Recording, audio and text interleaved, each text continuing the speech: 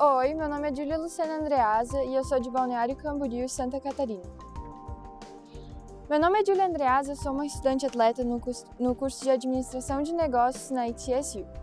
Eu vim estudar nos Estados Unidos procurando por uma universidade com alto level acadêmico e aqui na ITSU encontrei isso. Eu escolhi estudar negócios porque é uma área abrangente e interessante para o meu futuro, e o programa daqui é muito interessante. Depois de graduar aqui na ITSU, eu vou estar pronta para fazer minha pós-graduação ou aqui ou no Brasil.